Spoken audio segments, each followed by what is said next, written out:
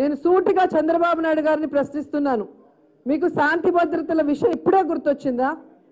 మీ rowdy MLA Chintamaneni గారు వనజాక్షిని ఇసుకలో వేసి కొట్టినప్పుడు ఎందుకు వాయిదా తీర్మానం మేము ఇస్తే తీసుకోలేదు? ఎందుకు దాని మీద డిస్కషన్ చేయలేదు? శిక్షించాల్సిన మీ ఎమ్మెల్యేని శిక్షించకుండా వనజాక్షి గారిని పిలిపించి బెదిరించి సెటిల్మెంట్ చేసినా మీరా శాంతి భద్రతల గురించి మాట్లాడేది? కాల్ మనీ సెక్స్ రాకెట్లో మీ ఎమ్మెల్యే మీ ఎమ్మెల్సీలు ఉన్నారన్న కారణంతో ఆడవాళ్ళ జీవితాలు వ్యభిచార కూపంలో పోతున్నాయని కంటిన్యూస్గా రెండు రోజులు వాయిదా తీర్మానం ఇస్తే ఈ విషయం గురించి డిస్కస్ చేయనీయకుండా నా మీద నిందలు వేసి నన్ను వన్ ఇయర్ సస్పెండ్ చేసిన మీరా శాంతి భద్రతల గురించి మాట్లాడుతున్నది.